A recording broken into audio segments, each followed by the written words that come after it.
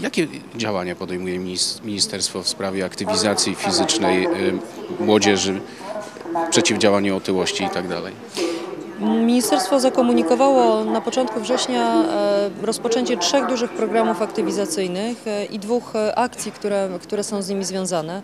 To są programy przeznaczone dla dzieci ze szkół podstawowych. Program Mały Mistrz przeznaczony dla dzieci z klas 1-3, program Umiem Pływać dla dzieci z klas trzecich i program multisportowy dla klas 4-6.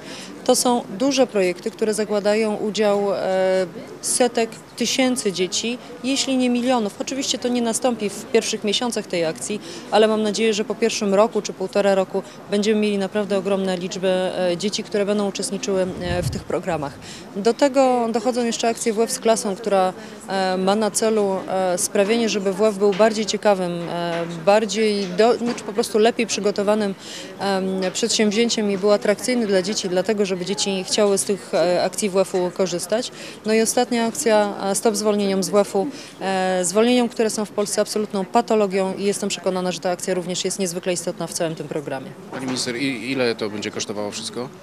E, Ze strony ministerstwa jest e, na te trzy programy aktywizacyjne zabukowane, za, zarezerwowane 22 miliony, ale ponieważ e, chcemy te programy przeprowadzić razem z urzędami marszałkowskimi i z władzami lokalnymi, więc liczymy na to, że cały koszt tego przedsięwzięcia będzie się zapinał w około 70 milionów złotych. A nie brakuje nam kadry specjalistycznej właśnie popularnych WF-istów? WF-istów nam na pewno nie, nie brakuje, natomiast y, na pewno chcielibyśmy, żeby oni mogli uzyskać jakiś e, nowy warsztat, jakieś dodatkowe umiejętności e, i żeby po prostu te lekcje przeprowadzali e, trochę lepiej. Jeśli chodzi o kadry e, klubów, trenerów klubowych, bo z nimi będziemy kontraktować te dwa mm, ostatnie programy, czyli Umiem Pływać i Multisportowy, to ja jestem przekonana, że tam na pewno nie brakuje, wręcz przeciwnie, jest bardzo wiele osób, które mm, pewnie szukają jakiegoś dodatkowego zatrudnienia, więc jestem pewna, że te osoby chętnie będą uczestniczyły w naszych programach. tak realnie to kiedy to ruszy?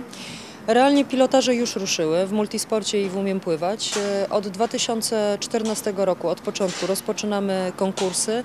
Pływanie prawdopodobnie w marcu ze względu na atmosferę, bo rodzice też nie chcą dzieci puszczać, kiedy jest jeszcze bardzo zimno. Multisportowy będziemy podpisywać dokumenty z początkiem roku, więc również realnie myślę, że w ciągu pierwszych kilku miesięcy e, będzie się program rozwijał.